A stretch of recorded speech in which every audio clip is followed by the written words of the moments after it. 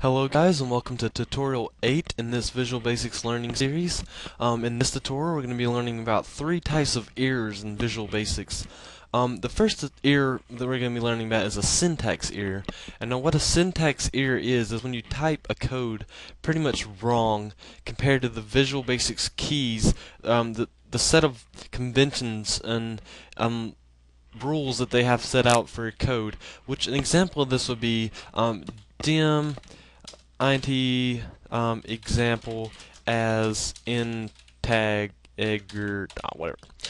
Now, this could probably be considered as um, a logic error too whenever you're running this and you have no idea why it's not being assigned to an integer but we'll get to logic errors in a minute um, a key whenever you mess up a keyword in um, Visual Basics it's called a syntax error and this is pretty much it should be dim and since it's uh, it has an extra m on it, um, that would be definitely considered a syntax error.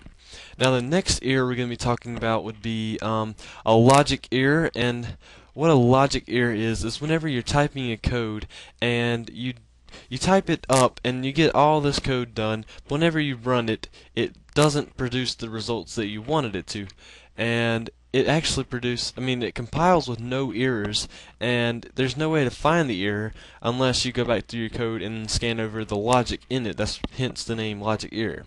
Anyways, that's a pretty simple error, and the third error we're going to be talking about would be a runtime error, and this is one of the most deadly errors that I really can't stand. Um, what this means is when you're running a code and it compiles successfully, but there's some kind of weird thing that you're doing that just doesn't work out with um, the compiler and all that good stuff.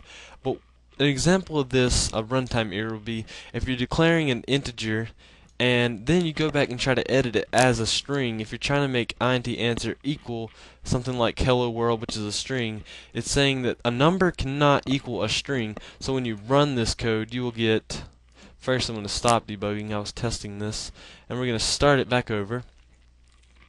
And first of all, we're going to actually delete this first, so just in case this doesn't mess up my example of a runtime error, we're going to run this now.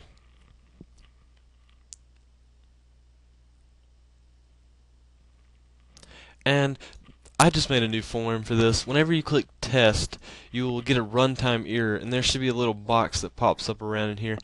Um, you'll understand what a runtime error once we start reading this. Um, conversion from string hello world to type integer is not valid.